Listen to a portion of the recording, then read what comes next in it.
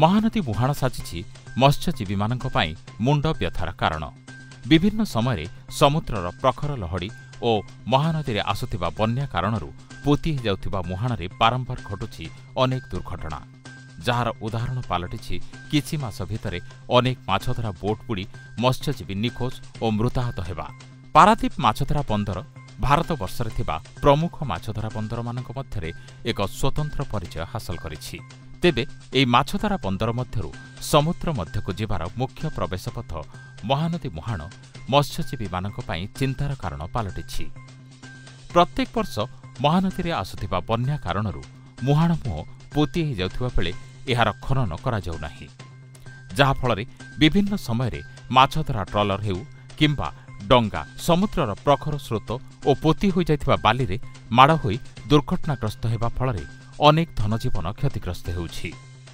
ଯାହାଦ୍ୱାରା ମତ୍ସ୍ୟଜୀବୀ ସମୁଦ୍ରକୁ ଯିବା ଆସିବା ପାଇଁ ଜୁଆରକୁ ଅପେକ୍ଷା କରୁଥିବା ବେଳେ ଭଟ୍ଟା ସମୟରେ ଦୀର୍ଘ ସମୟ ଧରି ସମୁଦ୍ରରେ ଅଟକି ରହିବା ସହିତ ଧନଜୀବନ ନେଇ ଫେରିବା ନେଇ ଆଶ ଆଶଙ୍କାରେ ରହୁଛନ୍ତି।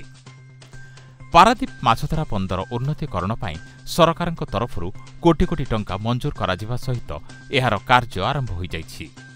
ଗୋଟିଏ ପଟେ ମାଛଧରା ବନ୍ଦରର ଉନ୍ନତିକରଣ କରାଯାଉଥିବା ବେଳେ ମତ୍ସ୍ୟଜୀବୀମାନେ ମାଛ ଧରିବାକୁ ଯିବାର ପ୍ରମୁଖ ପ୍ରବେଶ ପଥ ପ୍ରତି କାହାର ନଜର ନଥିବା ନେଇ ଅଭିଯୋଗ ଆଣିଛନ୍ତି ବୋଟ୍ କର୍ମଚାରୀ। ମାଛଧରା ବନ୍ଦର ଉନ୍ନତିକରଣ କରାଯିବା ଏକ ସ୍ୱାଗତଯୋଗ୍ୟ ପଦକ୍ଷେପ ହୋଇଥିବା ବେଳେ ମତ୍ସ୍ୟଜୀବୀମାନଙ୍କ ସୁବିଧା ସୁଯୋଗ ପ୍ରତି ଧ୍ୟାନ ଦେବାର ଆବଶ୍ୟକତା ରହିଥିବା ନେଇ ବୋଟ୍ ମାଲିକ କହିଛନ୍ତି।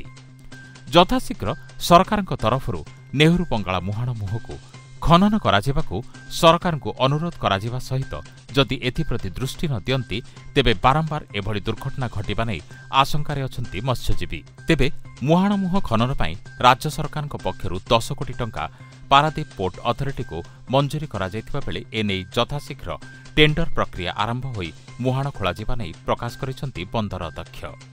ନେହୁରୁ ବଙ୍ଗଳା ମୁହାଣ ମୁହଁରେ ଘଟୁଥିବା ଦୁର୍ଘଟଣା ମତ୍ସ୍ୟଜୀବୀ ଓ ବୋଟ୍ ମାଲିକମାନଙ୍କ ଚିନ୍ତାର କାରଣ ପାଲଟିଛି।